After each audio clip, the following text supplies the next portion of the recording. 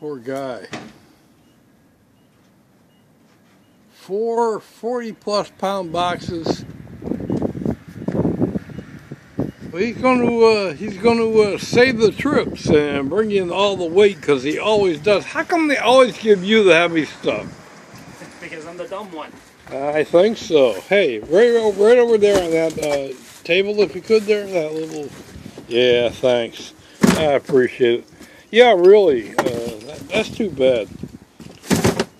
Come back in two years and tell me how your back's doing. 11 months, I'm done. I think two years about it.